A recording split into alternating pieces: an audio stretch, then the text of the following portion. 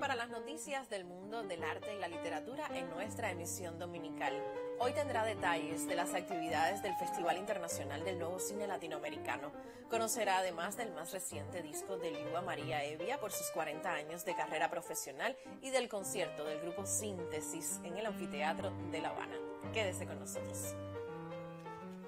La 43 edición del Festival Internacional del Nuevo Cine Latinoamericano dejó ánimos renovados para disfrutar del arte cinematográfico. Más de 70 mil personas asistieron a las salas y Cuba recibió a creadores de 27 países.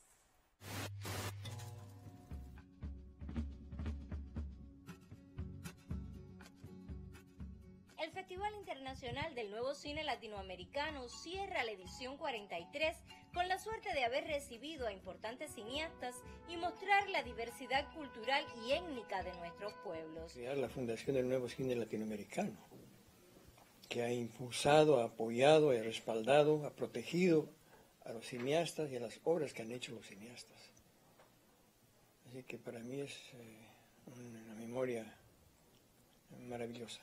Aquí el, cine se siente más vivo que en cualquier lugar. Siento que la gente tiene una relación existencial con el cine y eso hace que las proyecciones sean muy especiales. Es un público exigente también, también asusta presentar una película en La Habana. Este festival es muy especial para, yo creo que para todos los latinoamericanos. Creo que es como es el lugar en donde se celebra el cine latinoamericano en Latinoamérica. Se presentaron a la convocatoria del festival y de ellas fueron seleccionadas 185. La diversidad del cine latinoamericano te convence por sí sola, ¿no? De que hay cosas muy diversas que ver y que hace falta mantenerse conectados. Tiene que ver con unos temas que abordan la masculinidad, el machismo, la violencia, las armas, la droga, pero que se sale de los estereotipos y de las expectativas del espectador que está acostumbrado a pensar que una película de un barrio marginal en Bogotá o en Latinoamérica siempre tiene que tener un muerto, o siempre que tiene que tener droga, o siempre tiene que tener gente que no piensa. La programación cinematográfica salió de las salas y llegó a espacios comunitarios, escudriñó las interioridades del sector industria y se acercó a instituciones como Casa de las Américas.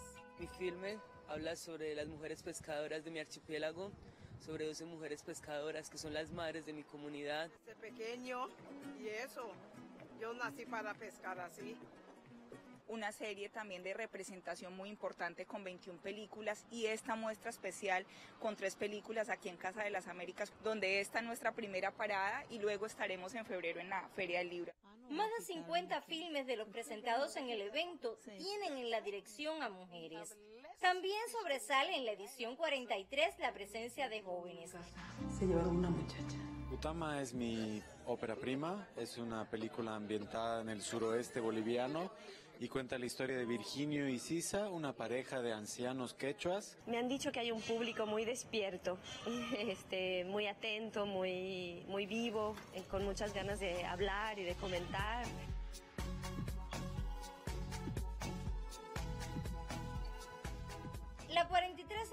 Del Festival del Nuevo Cine Latinoamericano tuvo entre los ejes teóricos la obra de Nicolás Guillén Landrián.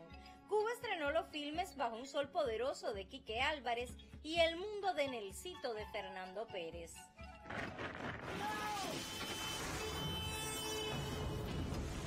Otra vez el cartel en el cine suscitó el interés del público. Se presentaron las publicaciones del ICAI y la Fundación del Nuevo Cine Latinoamericano.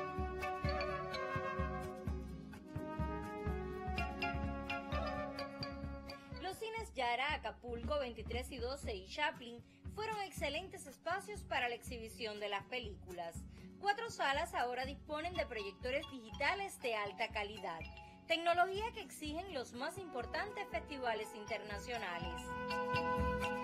En el festival tuve siempre los cines llenos de gente afuera y, van pasando de una tanda para el otro, de otras películas. Entonces, es, es una fiesta. Y con tanta afluencia de personal, de artistas, eso es una de las grandes cosas que tiene este país culturalmente. Me agrada mucho que la vida cultural de la ciudad vuelva a activarse, vuelva a hacer, seamos felices, ¿no?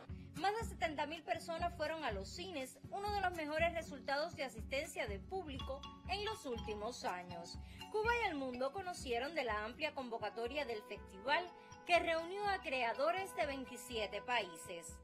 Es un festival que siempre tiene, que tiene una buena curaduría eh, para encontrar los cine latino de toda la América Latina.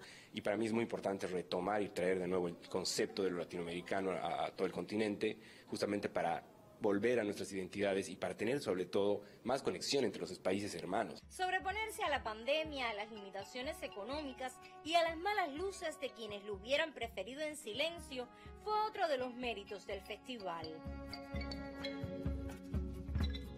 Otra vez diciembre fue el mes del cine y La Habana, punto de encuentro para la filmografía latinoamericana.